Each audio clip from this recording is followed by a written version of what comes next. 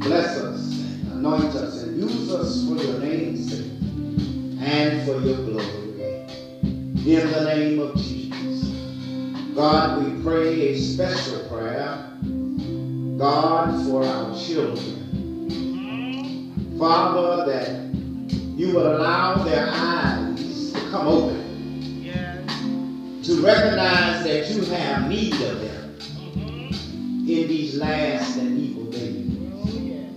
Father, that our millennials would rise with their voices and say unto you, What must I do to be saved and to do your will? All these things we ask and pray in the mighty and matchless name of Jesus the Christ. Redeemer of the Lord, say Amen. amen. Amen.